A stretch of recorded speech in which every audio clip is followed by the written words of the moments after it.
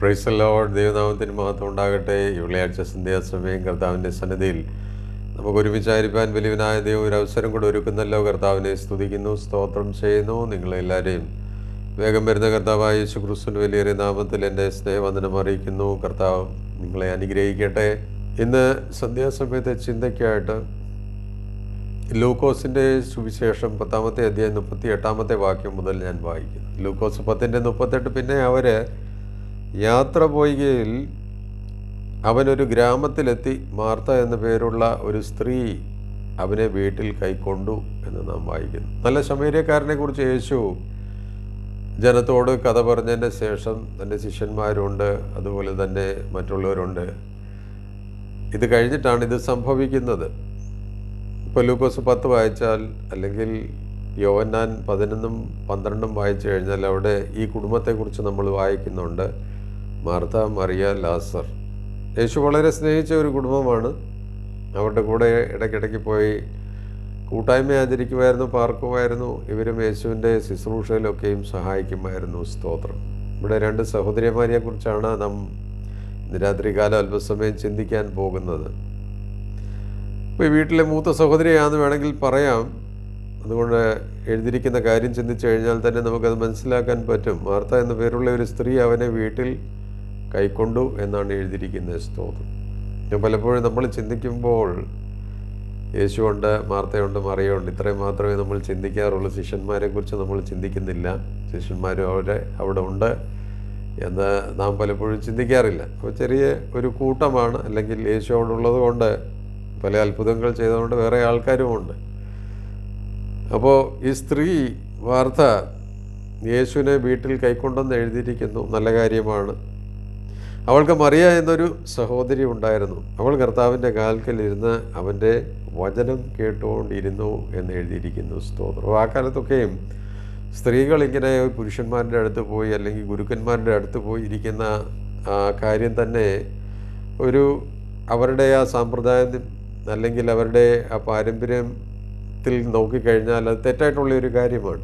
എന്നാൽ യേശു വരുന്നത് കൊണ്ട് നമുക്കറിയാം ഇവിടെ മറിയ യേശുവിന്റെ കാൽക്കൽ ഇരിക്കുകയാണ് സ്തോത്രം.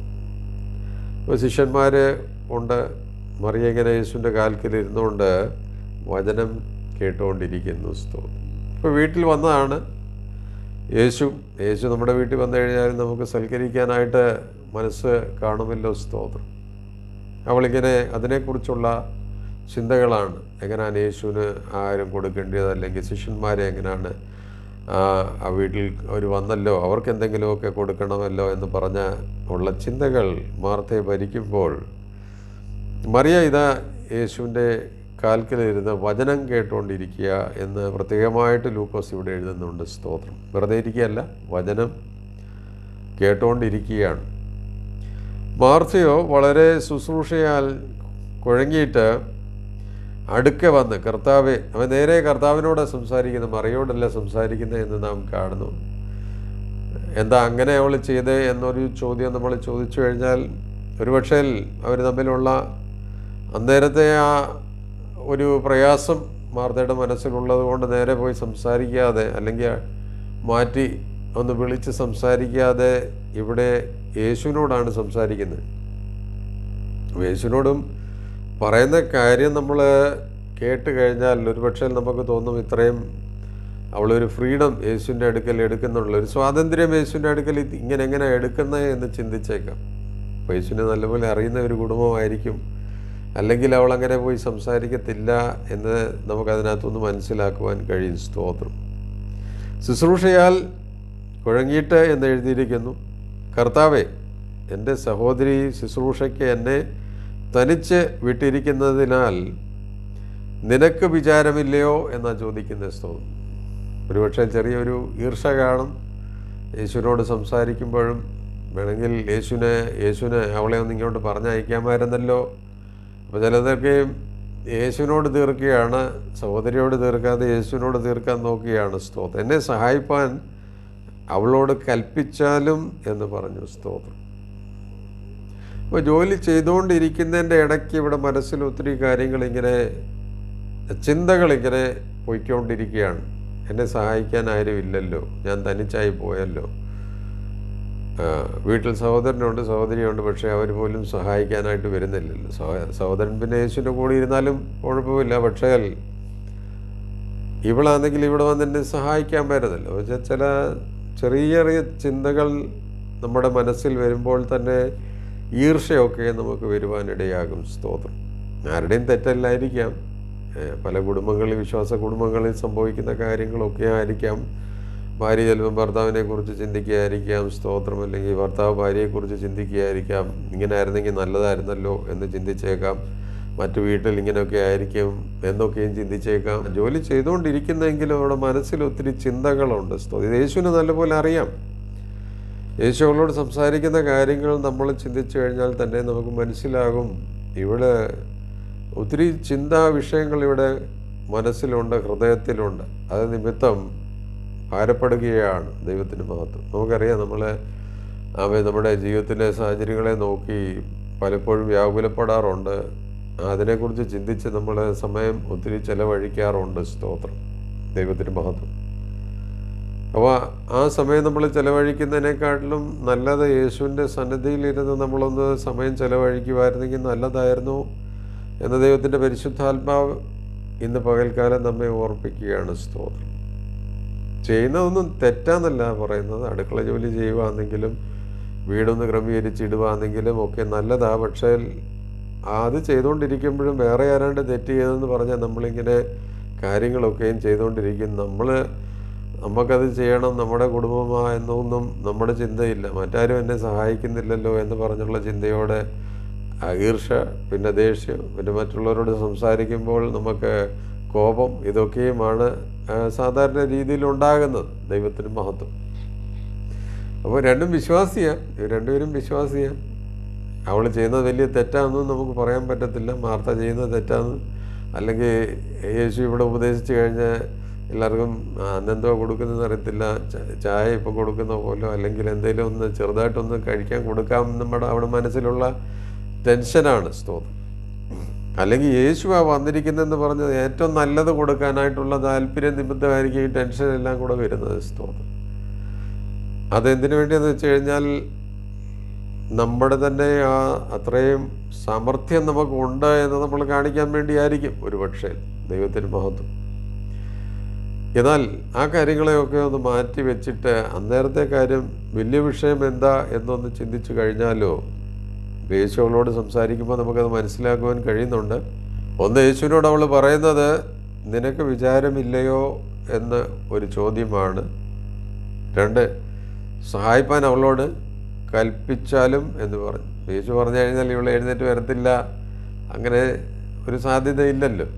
യേശു പറഞ്ഞു കഴിഞ്ഞാൽ അവൾ എഴുന്നേറ്റ് വരും ജോലി ചെയ്തോളും എന്ന് ഒരു ഉറപ്പ് അവൾക്ക് ഉള്ളത് കൊണ്ട് അങ്ങനെ യേശുവിനോട് പറയുകയാണ് സ്തോത്രം. കർത്താവ് അവളോട് നോക്കിക്കുക പറയുന്ന കാര്യം ശ്രദ്ധിക്കുക മാർത്തേ മാർത്തേ നീ പലതിനെയും ചൊല്ലി വിചാരപ്പെട്ടും മനം കലങ്ങിയും ഇരിക്കുന്നു. അപ്പോൾ രണ്ട് വിഷയങ്ങളുണ്ട് ഇവക്ക്. പല കാര്യങ്ങളെക്കുറിച്ച് ചിന്തിച്ചെന്താണ്? ഇവിടെ ഇവിടെ മനസ്സിലിങ്ങനെ വിചാരങ്ങൾ ഇങ്ങനെ വർദ്ധിച്ചുകൊണ്ടിരിക്കുകയാണ് സ്തോത്രം. എല്ലാവരും എന്ത് പറയും? എല്ലാവരും എന്ത് പറയും? ഇങ്ങനത്തെ ഒരു ചിന്ത ഒരു പക്ഷേൽ കൂടുതലും സഹോദരിമാരെ ഭരിക്കുന്നത് മറ്റുള്ളവരെന്ത് പറയും? മറ്റുള്ളവരെന്ത് പറയും? നമ്മൾ എന്ത് ചെയ്താലും എന്ത് അവൻ പ്രാർത്ഥിച്ചാലും അല്ലെങ്കിൽ എന്ത് ചെയ്താലും നമ്മുടെ മനസ്സിലൊരു ചിന്തയാണ്. മറ്റുള്ളവരെന്ത് പറയും? മറ്റുള്ളവരെന്ത് പറയും? പിന്നെ അതിനകത്തൊരു വിഷയമുണ്ട്. കർത്താവിന് അത് എത്രത്തോളം നല്ലതായി എന്ന് തോന്നുന്ന ആ കാര്യം നമ്മൾ പലപ്പോഴും ചിന്തിക്കാറില്ല സ്തോത്രം. ദൈവത്തിന് നമ്മൾ ചെയ്യുന്ന ഓരോ കാര്യങ്ങളായാലും വീട്ടിലെ കാര്യങ്ങളായാലും അല്ലെങ്കിൽ ശുശ്രൂഷയുടെ കാര്യം പ്രാർത്ഥിക്കുന്ന കാര്യമായാലും പാട്ട് പാടുന്ന കാര്യമായാലും എന്തായാലും ദൈവത്തിന് ഇതിൽ കൂടെ എത്ര മഹത്വം കിട്ടുന്ന ഉണ്ട് എന്നുള്ള ചിന്തയെക്കാട്ടിലും കൂടുതൽ ചിന്ത എന്താണ്? നമ്മുടെ ചുറ്റുപാടുമുള്ളവർക്ക് എന്തായിരിക്കും അവരിതിനെക്കുറിച്ച് ചിന്തിക്കുന്ന എന്നുള്ള വിഷയമാണ് പലപ്പോഴും നമ്മളെ ഭാരപ്പെടുത്തുന്നത് സ്തോത്രം. രണ്ട് പ്രശ്നങ്ങൾ അവരുടെ ജീവിതത്തെ ചൂണ്ടിക്കാണിക്കുകയാണ്. യേശു ഒന്ന് പലതിനെയും ചൊല്ലി വിചാരപ്പെട്ടിരിക്കുകയാണ്. പലതിനെയും ചൊല്ലി. ഒന്നോ രണ്ടോ വിഷയങ്ങളല്ല അവിടെ മനസ്സിൽ പലതിനെയും ചൊല്ലി വിചാരപ്പെട്ടിരിക്കുകയാണ് സ്തോത്രം.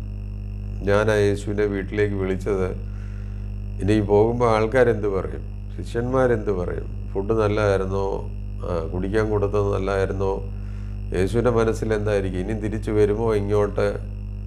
യേശു എങ്ങനെയായിരിക്കും ഇതൊക്കെയും കൈകാര്യം ചെയ്യുന്നത് എന്നുള്ള ചിന്ത?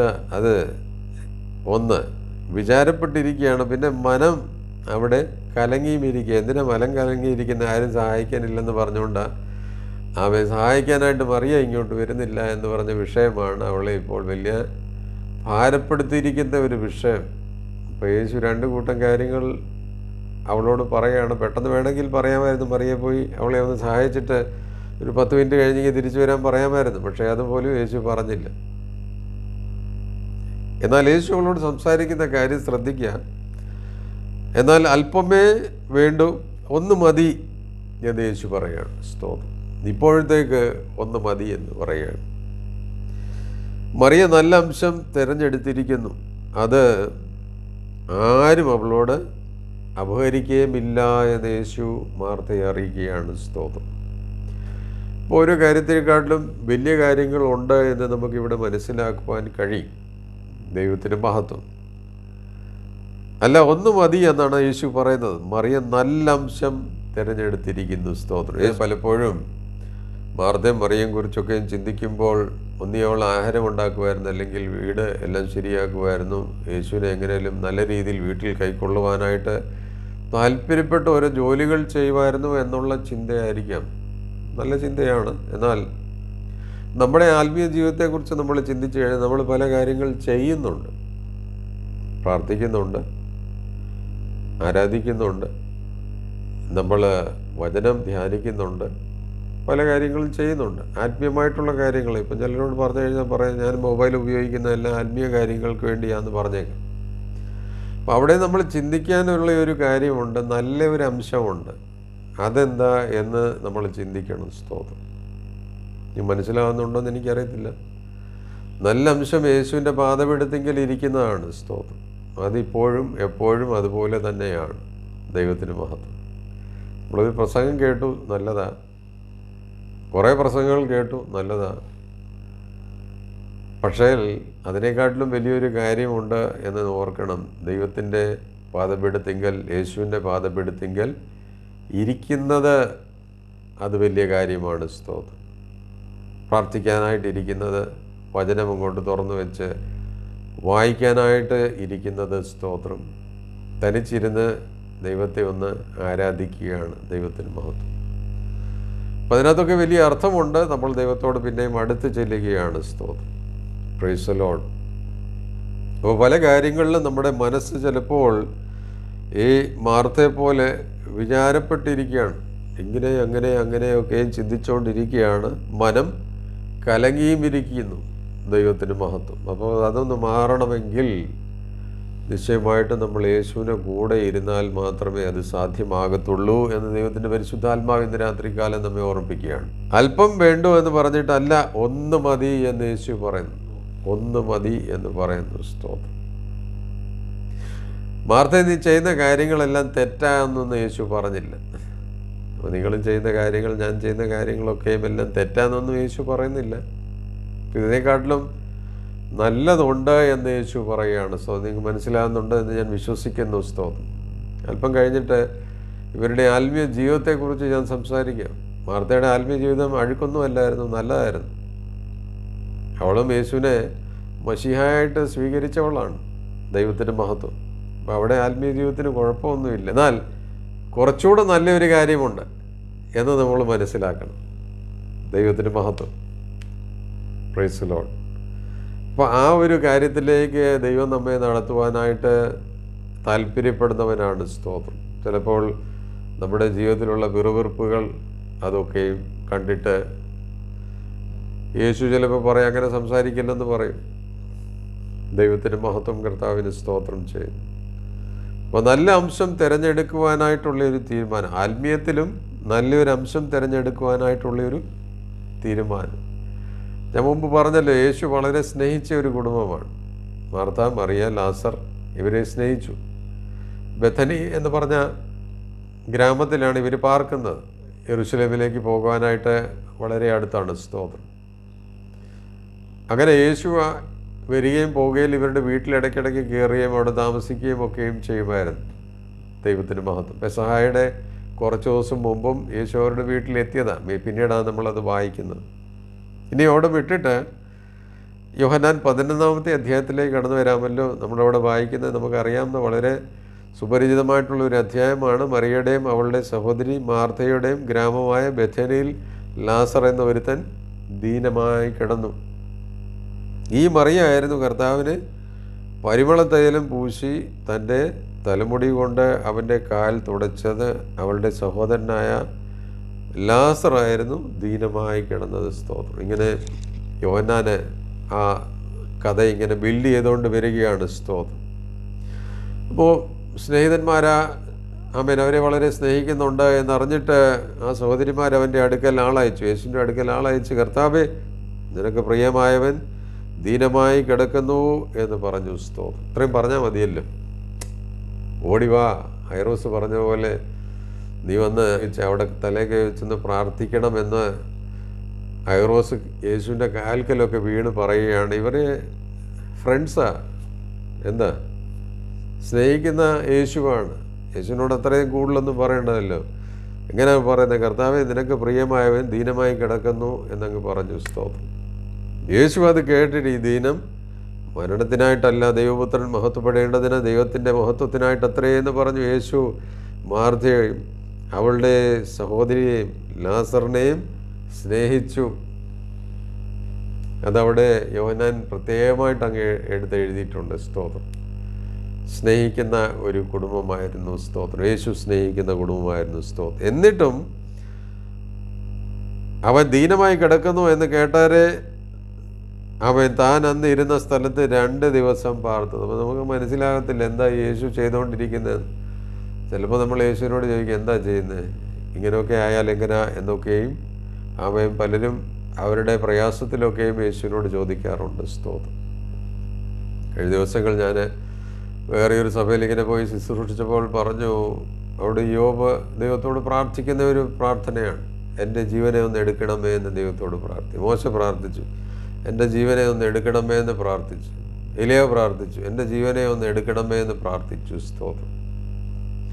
അപ്പോൾ അവരുടെ പ്രയാസത്തിലും അവരുടെ ആ കഷ്ടതയുടെ ആഴത്തിലും അവർ ദൈവത്തോട് പറയുക എന്നെ ഒന്ന് എടുത്താൽ നല്ലതായിരുന്നു എന്ന് പറയുന്നു സ്തോത്രം. പ്രൈസലോൺ ഇവിടെ യേശു ഈ വാർത്ത കേട്ടിട്ട് രണ്ട് ദിവസം അവിടെ തന്നെ ഇരുന്നു എന്ന് യോഹനാൻ എഴുതുന്നുണ്ട്. പിന്നെ കുറച്ച് ഭാഗം ഞാൻ അങ്ങ് വിട്ടിട്ട് പത്തൊമ്പതാമത്തെ വാക്യത്തിൽ ഇങ്ങനെ എഴുതിയിരിക്കുന്നു. മാർത്തയും മറിയയും സഹോദരനെക്കുറിച്ച് ആശ്വസിപ്പിക്കേണ്ടതിന് പല യഹൂദന്മാരും അവരുടെ അടുക്കൽ വന്നിരുന്നു സ്തോത്രം. യേശു അങ്ങോട്ട് പോയില്ല.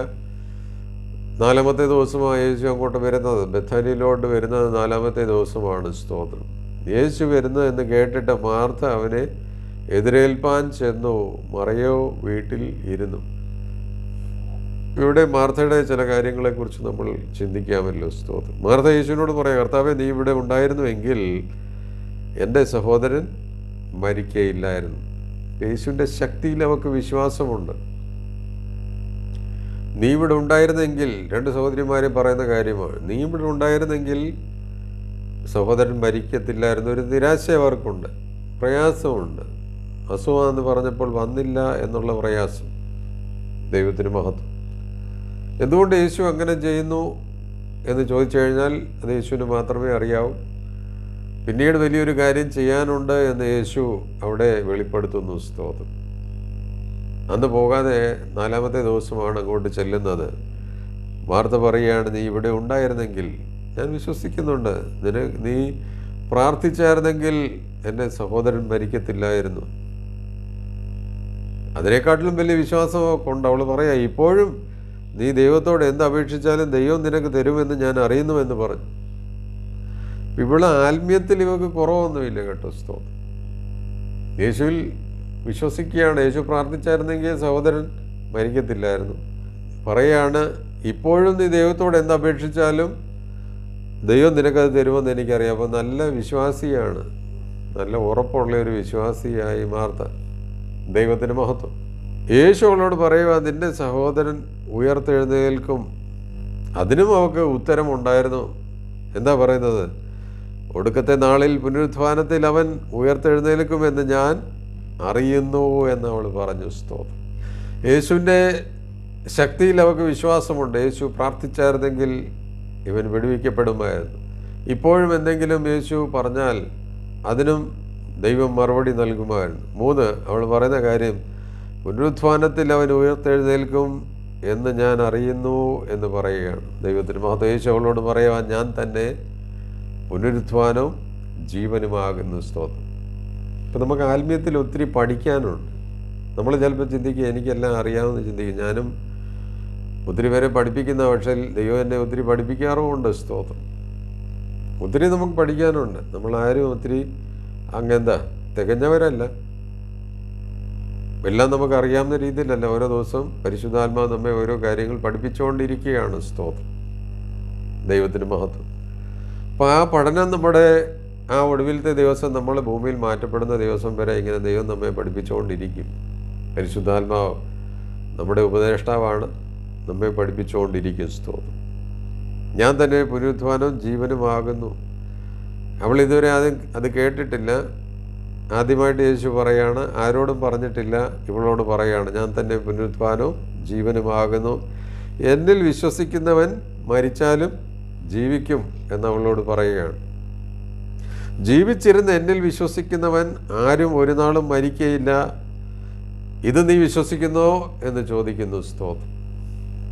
അപ്പോൾ നമുക്ക് പല രീതിയിലുള്ള വിശ്വാസങ്ങളൊക്കെയും കാണും. പക്ഷേ വിശ്വാസത്തിലും നമുക്ക് വളരാനുണ്ട്. എന്റെ നീതിമാൻ വിശ്വാസത്താൽ ജീവിക്കുമെന്ന് നാം വായിക്കുന്നല്ലോ. പല സാഹചര്യങ്ങളൊക്കെ നമ്മുടെ ജീവിതത്തിൽ നമുക്ക് മനസ്സിലാകാതെ വരുമ്പോൾ നമ്മൾ ദൈവത്തോട് ചോദ്യങ്ങളൊക്കെയും ഇങ്ങനെ ചോദിച്ചുകൊണ്ടിരിക്കും എല്ലാത്തിനും ദൈവം ഉടനെ ഉത്തരം തരുമെന്നൊന്നും ഇല്ല. കഴിഞ്ഞ ദിവസങ്ങളിൽ ഞാൻ എന്റെ ഒരു സ്നേഹിതനോട് സംസാരിച്ചുകൊണ്ടിരിക്കുമ്പോൾ പറയാം എന്തിനാ ഇങ്ങനെയൊക്കെ ചെയ്യുന്നതെന്ന് എനിക്ക് അറിയത്തില്ലെന്ന് പറയും. ദൈവ ദൈവത്തെക്കുറിച്ച് പറയുകയാണ് എന്നിട്ട് പിന്നെ പറയാ എങ്ങനായാലും ഞാനൊരു ഫെയിലിയറാണെന്ന് അറിയാമല്ലോ. പിന്നെ എന്തിനാ ഇങ്ങനെ പിന്നെയും പിന്നെ എന്നെ ഇങ്ങനെ പരിശോധിച്ചുകൊണ്ടിരിക്കുന്നത് എന്ന് പറയുവാനിടയായി സ്തോത്രം. ഞാനും ചിരിച്ചു. എന്തു പറയാൻ ഓരോ ശോധനകളൊക്കെ വരുമ്പോൾ ഏതായാലും തോറ്റു പോകുമെന്ന് അറിയാം അതിനകത്ത്. വലിയ കാര്യമൊന്നും ഇല്ലല്ലോ എന്ന് നമുക്ക് യേശുവിനോട് പറയുകയും ചെയ്യാം. സ്തോത്രം. അങ്ങനെ പറഞ്ഞ ഒരു കാര്യം അവന്റെ ജീവിതത്തിൽ ഒത്തിരി കഷ്ടതകൾ അനുഭവിച്ചുകൊണ്ടിരിക്കുന്നതുകൊണ്ട് താനത് പറയുവാനിടയായി. സ്തോത്രം. ഞാനവനെ ശകാരിക്കാനൊന്നും പോയില്ല തിരുത്താനൊന്നും പോയില്ല എന്ന് പറഞ്ഞാൽ എനിക്കും അറിയാം. ജീവിതത്തിൽ പല സാഹചര്യങ്ങളും നമ്മളും ദൈവത്തോട് ചോദ്യങ്ങൾ ചോദിക്കാറുണ്ട്. സ്തോത്രം. ഇവിടെ യേശു പറഞ്ഞ കാര്യം വലിയ കാര്യമാണ് മനസ്സിലാക്കാൻ ബുദ്ധിമുട്ട്. ജീവിച്ചിരുന്ന എന്നിൽ വിശ്വസിക്കുന്നവൻ ആരും ഒരു നാളും മരിക്കയില്ല. ഇത് നീ വിശ്വസിക്കുന്നോ എന്ന് അവളോട് ചോദിക്കുകയാണ് സ്തോത്രം. അതിനവൾ ഉത്തരം പറയുന്നത് ഊവ കർത്താവെ ലോകത്തിൽ വരുവാനുള്ള ദൈവപുത്രനായ ക്രിസ്തു നീ തന്നെ എന്ന് ഞാൻ വിശ്വസിച്ചിരിക്കുന്നു എന്ന് പറഞ്ഞു. സ്തോത്രം. വിശ്വാസത്തിൽ നല്ല ഉറപ്പുള്ള ഒരു സഹോദരിയാണ് സ്തോത്രം. എന്നാൽ ചിലത് നമ്മുടെ ജീവിതത്തിൽ അതിനേക്കാട്ടിലും നല്ലതുണ്ട് എന്ന് യേശു നമ്മോട് പറയുകയാണ് സ്തോത്രം. അത് എവിടെ കിട്ടുന്നതെന്നറിയാമോ? യേശുവിന്റെ പാതപീഠത്തെങ്കിൽ മാത്രമേ കിട്ടത്തുള്ളൂ സ്തോത്രം. ദൈവത്തിന് മഹത്വം. അത് ഈ ചെറിയ ചെറിയ ഈ സങ്കീർത്തനം എടുത്ത് വായിച്ചിട്ട് ഒരു ദിവസം ചിലവഴിക്കുന്ന കാര്യമല്ല. ദൈവത്തിന് മഹത്വം. ആ യേശുവിന്റെ പാതപീഠത്തെങ്കിൽ ഇരുന്ന് ഒരു ലേഖനം മുഴുവൻ അങ്ങ് വായിക്കണം അല്ലെങ്കിൽ കേൾക്കണോ? അത് മുഴുവനായിട്ട് അങ്ങ് കേൾക്കണം. പ്രസംഗത്തെക്കുറിച്ചല്ല ഞാൻ പറയുന്നത്. നമ്മൾ തന്നെ വചനം വായിക്കുക. യേശു നമ്മളോട് അതിൽ കൂടെ ഇടപെടും. യേശു അതിൽ കൂടെ നമ്മളോട് സംസാരിക്കുവാനിടയാകും. സ്തോത്രം. ഞാൻ നിങ്ങളോട് സംസാരിക്കുന്ന ഈ വചനം യേശു പറഞ്ഞ ജീവനാന്നാ പറഞ്ഞ ജീവൻ. ദൈവത്തിന് മഹത്വം. അപ്പം അതിന്റെ പ്രാധാന്യം നമ്മുടെ ജീവിതത്തിൽ നമ്മൾ ഓർത്തിരിക്കണം. സ്തോത്രം. വചനത്തിന്റെ ശക്തി നമ്മളത് വായിക്കുമ്പോൾ യേശുവിന്റെ പാതപെടുത്തെങ്കിൽ ഇരിക്കുമ്പോൾ ദൈവത്തിന്റെ മഹത്വം അത്രയും നമ്മുടെ ഉള്ളിലേക്ക് ആമീൻ പ്രവേശിക്കുകയാണ്. ദൈവം നമ്മളോട് സംസാരിക്കുകയാണ്. ദൈവം നമ്മളോട് ഇടപെട്ടുകൊണ്ടിരിക്കുകയാണ്. നമ്മുടെ ഉള്ളിൽ ശുദ്ധീകരണം വരുത്തിക്കൊണ്ടിരിക്കുകയാണ്. സ്തോത്രം. ഓ കർത്താവെ ലോകത്തിൽ വരുവാനുള്ള ദൈവപുത്രനായ ക്രിസ്തു നീ തന്നെ എന്ന് ഞാൻ വിശ്വസിച്ചിരിക്കുന്നു. എന്നിട്ട് അവൾ പോയി അവിടെ സഹോദരിയായ മറിയെ സ്വകാര്യമായി വിളിച്ചു എന്ന് നാം വായിക്കുന്നു. അവൾ കേട്ട ഉടനെ എഴുന്നേറ്റ് അവന്റെ അടുക്കൽ വന്നു സ്തോത്രം. അപ്പോൾ മറിയയും അവിടെ വന്നിട്ട് ആദ്യം പറയുന്ന കാര്യം നീ ഇവിടെ ഉണ്ടായിരുന്നെങ്കിൽ ഞങ്ങളുടെ സഹോദരൻ മരിക്കുകയില്ലായിരുന്നു എന്നുള്ള കാര്യമാണ് സ്തോത്രം. അപ്പം അത്രയും അവർക്ക് യേശുവിൽ വിശ്വാസമുണ്ടായിരുന്നു. യേശുവിന്റെ കൂടെ നടക്കുന്നവരായിരുന്നു. യേശുവിനെ വീട്ടിൽ ഹല്യ സൽക്കരിക്കുന്നവരായിരുന്നു അവന്റെ ശക്തി അവന്റെ തേജസ് അവന്റെ മഹിമ ഇതൊക്കെയും എല്ലാം ഈ രണ്ട് സഹോദരിമാർക്ക് അറിയാമായിരുന്നു സ്തോത്രം. കർത്താവെ നീ ഇവിടെ ഉണ്ടായിരുന്നെങ്കിൽ എന്റെ സഹോദരൻ മരിക്കുകയില്ലായിരുന്നു എന്ന് പറഞ്ഞു സ്തോത്രം. ചിലത് നമുക്ക് തോന്നും യേശുവിന് നമ്മൾ കഷ്ടപ്പെടുന്ന ഒന്നും യേശുവിന് വലിയ കാര്യമൊന്നുമല്ലെന്ന് സ്തോത്രം. നമുക്ക് വേദന നമുക്ക് പ്രയാസം രോഗങ്ങളൊക്കെയും വരുമ്പോൾ അത് യേശുവിനെ ഒന്നും ടച്ച് ചെയ്യുന്നില്ല സ്പർശിക്കുന്നില്ല എന്ന് നമുക്ക് തോന്നിയേക്കാം.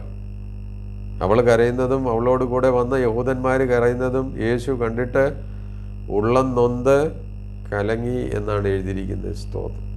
അപ്പോൾ അത്രയും പേഴ്സണലായിട്ട് നമ്മുടെ ജീവിതത്തോട് ഇടപെടുന്ന ഒരു കർത്താവാണ് സ്തോത്രം. നമുക്ക് മനസ്സിലാക്കാൻ പറ്റത്തില്ല. ലോകത്തിൽ എണ്ണൂറ് കോടി ജനമുണ്ട്. ഇന്ത്യയിൽ നൂറ്റി നാൽപ്പത്തിനാല് കോടി ജനമുണ്ട്. അതിനകത്തുനിന്ന് ഒരു ചെറിയ കൂട്ടം വിശ്വാസികൾ ആണെങ്കിലും ഒരു കോടിയിലും കാണുമല്ലോ. അപ്പം ഇത്രയും പേരുടെ ഒരു ദിവസത്തെ പ്രാർത്ഥനയും അവരുടെ ജീവിതത്തിന്റെ അവസ്ഥകളും അവരുടെ ജീവിതത്തിലെ ഭാരങ്ങളും പ്രയാസങ്ങളും ഒക്കെയും എങ്ങനെ ഒരു വ്യക്തിക്ക് അറിയാൻ പറ്റും എന്നൊരു ചിന്ത ഒരു പക്ഷേ നമ്മുടെ മനസ്സിൽ വന്നേക്കാം. സ്തോത്രം. നലേശുവിന് സകലതും അറിയാം. നമ്മുടെ ജീവിതത്തെക്കുറിച്ച് നന്നായിട്ട് അറിയാം ആനരൂയ സ്തോത്രം. അപ്പോൾ നമ്മുടെ ഭാരങ്ങൾ നമ്മുടെ പ്രയാസങ്ങൾ നമ്മൾ അവനെ അറിയിക്കുമ്പോൾ യേശുവിനെ അറിയിക്കുമ്പോൾ ഇത് കണ്ടില്ലേ എന്താ എഴുതിയിരിക്കുന്നത്? യേശു കണ്ടിട്ട് ഉള്ളം കലങ്ങി എന്നാണ് എഴുതിയിരിക്കുന്നത് സ്തോത്രം. അവനെ വെച്ചത് എവിടെ എന്ന് ചോദിച്ചു. കർത്താവെ വന്ന് കാണുക എന്ന് അവരവനോട് പറഞ്ഞു. യേശു കണ്ണുനീര് വാർത്തു ദൈവത്തിന് മഹത്വം. കരയുന്ന ഒരു യേശുവിനെ കുറിച്ച് നമ്മളിവിടെ വായിക്കുന്നു. യേശു അത്ഭുതത്തെക്കുറിച്ചൊന്നും അല്ല ഞാൻ ഇന്ന് സംസാരിക്കുന്നത് ഈ രണ്ട് സഹോദരിമാരുടെ ആത്മീയ ജീവിതത്തെക്കുറിച്ചാണ് സംസാരിക്കുന്നത്. യേശു ഉല്ലാസറിനെ ഉയർത്തെഴുന്നേൽപ്പിച്ചു.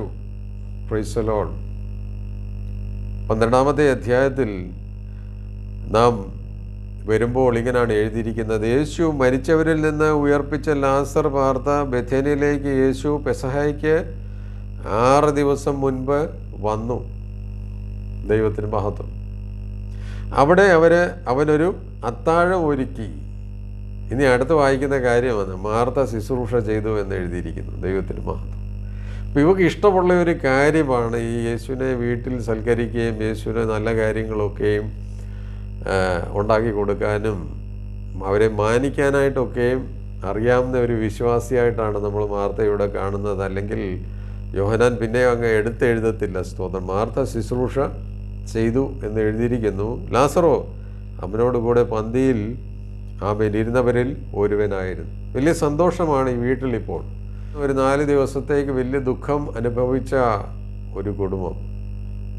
എന്നാൽ യേശു ഹല്യ ലാസറിനെ മരിച്ചവരിൽ നിന്ന് ഉയർപ്പിച്ചപ്പോൾ എന്താ നാം കാണുന്നത്? ഒരു വിരുന്ന് അവൻ അവിടെ കൊടുക്കുന്നതായിട്ട് നാം കാണുന്നു. സ്തോത്രം. ഒരു അത്താഴം ഒരുക്കി എന്നാണ് എഴുതിയിരിക്കുന്നത്.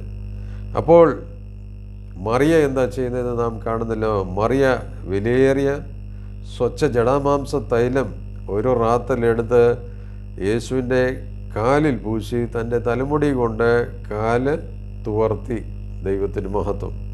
തൈലത്തിന്റെ സൗരഭ്യം കൊണ്ട് വീട് നിറഞ്ഞു. സ്തോത്രം. അപ്പോൾ അത്രയും ഒരു വർഷത്തെ ജോലി ചെയ്യുന്ന ഒരാളുടെ ശമ്പളമാണ് അത്രയും കൊണ്ടാണ് ഇത് പോയി മേടിച്ചിരിക്കുന്നത്. ദൈവത്തിന് മഹത്വം. അവിടെ എതിർപ്പുകളൊക്കെ വന്നു. ശിഷ്യന്മാരിൽ ഒരുത്തനായ അവനെ കാണിച്ചു കൊടുക്കുവാനുള്ള യൂത ഇസ്കാരിത്തോ ഇങ്ങനെ പറയാനിടയായി. ഈ തൈലം മുന്നൂറ് വെള്ളിക്കാശിന് വിറ്റ് ദരിദ്രന്മാർക്ക് കൊടുക്കാഞ്ഞത് എന്ത് എന്ന് പറഞ്ഞു. അപ്പോൾ നമ്മുടെ ആത്മീയം നമ്മുടെ യേശുവിനോടുള്ള അടുപ്പം നമ്മുടെ യേശുവിനോടുള്ള ആ കൂട്ടായ്മ പലർക്കും മനസ്സിലാകത്തില്ല. സ്തോത്രം. അവർക്കത്രയും ആയിട്ടില്ല. അല്ലെങ്കിൽ അവർ ഒരു പക്ഷേ ജഡികന്മാരായിരിക്കും ഇവിടെ യൂതയെക്കുറിച്ച് നമ്മൾ കാണുന്നു അതുപോലെ ആയിരിക്കാം ചിന്തകൾ മറ്റു രീതിയിലാണ് പോകുന്നത്. എന്നാൽ ഇവിടെ മനസ്സിൽ യേശു ഒരു വലിയ കാര്യം അവർക്ക് വേണ്ടി ചെയ്തു. എന്താ ചെയ്തത്? യേശു അവർക്ക് വേണ്ടി ഒരു വൻ കാര്യമാണ് ചെയ്തത്. മരിച്ചവരിൽ നിന്ന് സഹോദരനെ ഉയർത്തെഴുന്നേൽപ്പിച്ചു എന്ന് കണ്ടപ്പോൾ അവളെന്താ ചെയ്യുന്നത്? അവരുടെ ജീവിതത്തിലുള്ള ഏറ്റവും വിലയേറിയതായിട്ടുള്ളത് യേശുവിന് കൊടുക്കുന്നതായിട്ട് നാം കാണുന്നു സ്തോത്രം. വളരെ പ്രധാനപ്പെട്ട കാര്യങ്ങൾ ആ രണ്ടും. ഒന്ന് അവൾ യേശുവിന്റെ പാദപീഠത്തെങ്കിൽ ഇരുന്ന് ഏറ്റവും ശ്രേഷ്ഠമായിട്ടുള്ളത് യേശുവിൽ നിന്ന് അവളുടെ ജീവിതത്തിലേക്ക് എടുത്തു മറിയ എന്നാൽ കൊടുക്കാനുള്ള സമയമായപ്പോഴും എന്താ ചെയ്യുന്നത്? ഏറ്റവും ശ്രേഷ്ഠമായത് അവൾ യേശുവിന് കൊടുക്കുന്നതായിട്ട് നാം കാണുന്നു സ്തോത്രം. ഒത്തിരി കാര്യങ്ങൾ ഇതിനകത്തുനിന്ന് പഠിക്കാനുണ്ട്. രണ്ടുപേരുടെയും ആത്മീയത്തെക്കുറിച്ച് നമ്മളിവിടെ കാണുന്നുണ്ട്. അവർ യേശുവിനെ വളരെ ഹൃദയം കൊണ്ട് സ്നേഹിച്ച രണ്ട് സഹോദരിമാരായിരുന്നു സ്തോത്രം. എന്നാൽ ഈ നല്ല അംശത്തെക്കുറിച്ച് യേശു നമ്മളോട് ഇപ്പോൾ സംസാരിക്കുകയാണ് സ്തോത്രം. യേശുവിന്റെ അടുക്കൽ ഇരിക്കുന്നതാണ് നല്ല അംശം. പാദപീഠത്തിങ്കിൽ ഇരിക്കുന്നതാണ് നല്ല അംശം എന്ന് നാം എപ്പോഴും ഓർത്തിരിക്കണം സ്തോത്രം. മാർത്ത തെറ്റായത് ചെയ്ത് എന്നൊന്നുമല്ല ഇന്നത്തെ ദൂതിന്റെ അർത്ഥമൊന്നും അതല്ല സ്തോത്രം. നമ്മൾ എന്ത് ചെയ്താലും അതിനേക്കാട്ടിലും വിലയേറിയ ഒരു കാര്യം യേശു കാണുന്നുണ്ട് എന്നുള്ള കാര്യം നാം എപ്പോഴും ഓർക്കണം സ്തോത്രം. ഈ കാലത്തെ ഈ മൊബൈലും ഇതൊന്നും ഇല്ലാത്ത കാലം ഉണ്ടായിരുന്നല്ലോ. ഞാൻ വിശ്വസിക്കുന്നത് ദൈവജനം വചനം വായിക്കാനായിട്ട് കൂടുതലും ഈ ബൈബിളുമായിട്ട് ഇരിക്കുമായിരുന്നു. ഇപ്പം ബൈബിൾ ഏതാ മൊബൈൽ ഏതാന്ന് അറിയാത്ത രീതിയിലാണ് സ്തോത്രം. ചിലരുടെ മൊബൈൽ ഇപ്പോൾ ബൈബിളായി തീർന്നിരിക്കുകയാണ് ദൈവത്തിന് മഹത്വം. അപ്പം നല്ല അംശത്തെക്കുറിച്ച് യേശു നമ്മളോട് പറയുകയാണ് ഏറ്റവും നല്ലത് യേശു നമുക്ക് തരാനായിട്ട് ആഗ്രഹിക്കുക അത് അവന്റെ പാതപ്പെടുത്തെങ്കിലേ കിട്ടത്തുള്ളൂ സ്തോത്രം. കൊടുക്കാൻ സമയമാകുമ്പോഴും ഏറ്റവും വിലയേറിയത് യേശുവിന് അവൾ കൊടുക്കുന്നു. എബ്രായ ലേഖനം പതിമൂന്നാമത്തെ അധ്യായത്തിൽ നാം വായിക്കുന്നത് പോലെ അതിഥി സൽക്കാരം അതിൽ നമ്മൾ മുൻപോട്ട് നിൽക്കണം എന്ന് ദൈവത്തിന്റെ വചനം നമ്മെ അറിയിക്കുന്നു. അങ്ങനെ ചിലർ ദൈവദൂതന്മാരെ ആമേൻ വീട്ടിൽ കൈക്കൊണ്ടിട്ടുണ്ടെന്നൊക്കെയും എഴുതിയിട്ടുണ്ട്. സ്തോത്രം.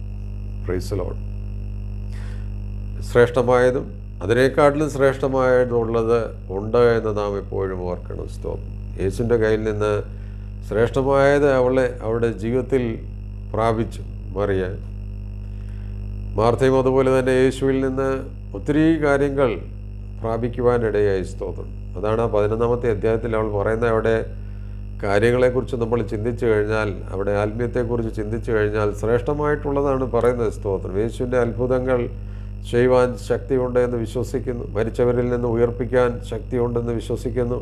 ദൈവപുത്രന എന്ന് വിശ്വസിക്കുന്നുണ്ട് സ്തോത്രം. അപ്പോൾ ഇത് രാത്രികാലം ആ ഒരു കാര്യത്തിൽ മാത്രം യേശു അവളോട് പറയുന്ന കാര്യം നാം ഒന്ന് ശ്രദ്ധിച്ചാൽ ലൂക്കോസിന്റെ സുവിശേഷം പത്താമത്തെ അധ്യായത്തിൽ കർത്താവ് അവളോട് മാർത്തേ മാർത്തേ നീ പലതിനെയും ചൊല്ലി വിചാരപ്പെട്ട് മനം കലങ്ങിയിരിക്കുന്നു. സ്തോ. അല്പമേ വേണ്ടു അല്ല ഒന്ന് മതി. മറിയ നല്ല അംശം വേൻ തിരഞ്ഞെടുത്തിരിക്കുന്നു അത് ആരും അവളോട് അപഹരിക്കുകയുമില്ല. സ്തോത്രം. എനിക്കറിയാം നമ്മളിൽ എല്ലാവരും ഒരുവിധം ഈ ആത്മീയത്തിലൊക്കെ നമ്മൾ വചനം ഒത്തിരി കേട്ടവരാണ് പ്രാർത്ഥിക്കുന്നവരാണ് വചനം വായിക്കുന്നവരൊക്കെയുമാണ് ആരാധിക്കുന്നവരൊക്കെയുമാണ്. എന്നാൽ യേശു പറയുന്നത് കുറച്ചുകൂടെ നമ്മൾ യേശുവിനോട് ഒന്ന് അടുക്കണം എന്ന് പറയുകയാണ് സ്തോത്രം. മറ്റു കാര്യങ്ങളെയൊക്കെയും മാറ്റി വെച്ച് ഒത്തിരി ആമേൻ വ്യാകുലപ്പെട്ട് മനം കലങ്ങിയൊന്നും ഇരിക്കാതെ യേശുവിന്റെ സന്നദ്ധിയിലിരുന്ന് അവനിൽ നിന്ന് പ്രാപിച്ച് ശക്തിപ്പെട്ട് ബലപ്പെട്ട് മറ്റുള്ളവരെ നമ്മൾ ശക്തീകരിച്ച് മുൻപോട്ട് പോകണമെന്ന് ഇന്ന് രാത്രികാലം പരിശുദ്ധാത്മാവ് നമ്മെ അറിയിക്കുകയാണ് സ്തോത്രം. പ്രൈസലോൺ ഏറ്റവും ശ്രേഷ്ഠം യേശുവിൽ നിന്ന് പ്രാപിക്കുക. അതുപോലെ തന്നെ സമയമാകുമ്പോൾ ഏറ്റവും ശ്രേഷ്ഠമായത് യേശുവിന് തിരിച്ചു കൊടുക്കുക. സ്വച്ഛ ജഡാമാംസ തൈലം അവൾ പൊട്ടിച്ച് യേശുവിന്റെ കാലിൽ അത് ഇട്ടപ്പോൾ നാം വായിക്കുന്നത് ആ മുറിയിൽ മുഴുവൻ അതിന്റെ ആമേ സ്തോത്രം സുഗന്ധം എല്ലാവർക്കും അത് അനുഭവിക്കുവാനിടയാകി സ്തോത്രം. അതുപോലെ തന്നെ നമ്മുടെ ആമേ സാക്ഷ്യം സമൂഹത്തിലും ദേശത്തിലും ലോകത്തിലും ഒക്കെയും അമ്മൻ വലിയേറെ ഇതാണ് എന്ന് നാം എപ്പോഴും ഓർക്കണം. ഫ്രൈസലോൺ യേശു അതല്ലേ പറഞ്ഞത്?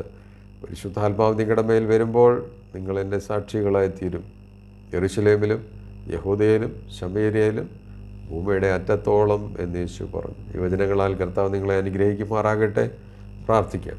വലിയവനായ കർത്താവെ ഇന്ന് രാത്രികാലം തിരുസന്നിധിയിൽ തിരുവചനവുമായി ആയിരിക്കാൻ ഞങ്ങൾക്ക് കൃപ നൽകിയതിനായിട്ട് സ്തോത്രം. കർത്താവ് കടന്നു വന്നതിന്റെ മക്കൾക്കായിട്ട് സ്തോത്രം. തിരുവചനം കേട്ടുകൊണ്ടിരുന്ന നിന്റെ മക്കൾക്കായിട്ട് സ്തോത്രം. കർത്താവെ ഓരോരുത്തരെയും അനുഗ്രഹിക്കണം. കുറച്ചുകൂടെ യേശുവിനോട് അടുക്കുവാൻ കർത്താവെ ഞങ്ങൾക്ക് ഓരോരുത്തർക്കും കൃപ നൽകണമേ എന്ന് പ്രാർത്ഥിക്കുന്നു.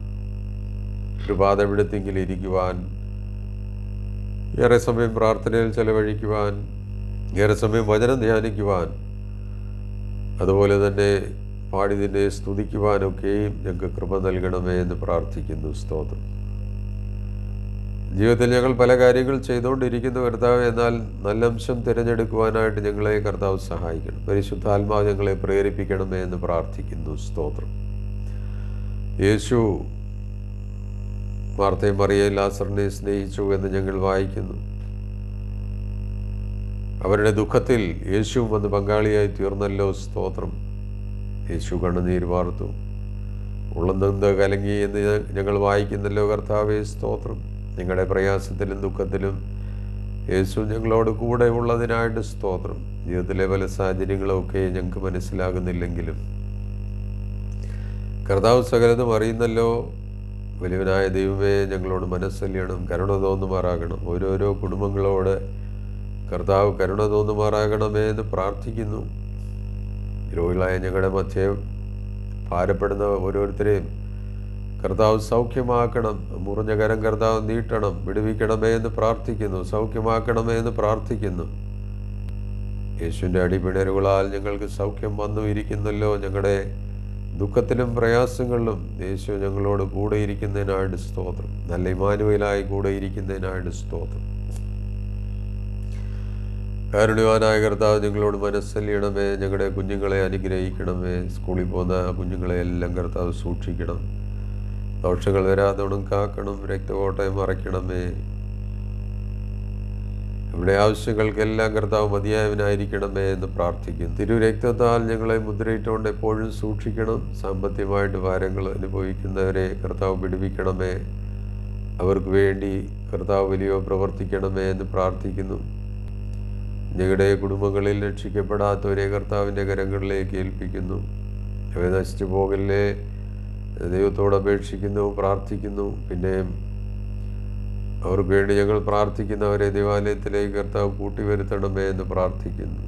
മനുഷ്യരാൽ അസാധ്യം ദൈവത്താൽ സാധ്യമെന്ന് ഞങ്ങൾ വായിക്കുന്നല്ലോ ആ ഞങ്ങളുടെ കുടുംബങ്ങളെയെല്ലാം അനുഗ്രഹിക്കണമേ. ഇപ്പോൾ ഞങ്ങൾ പിരിഞ്ഞു പോകുന്നു. പിരിയാത്ത സാന്നിധ്യം കൂടെ ഇരിക്കണം.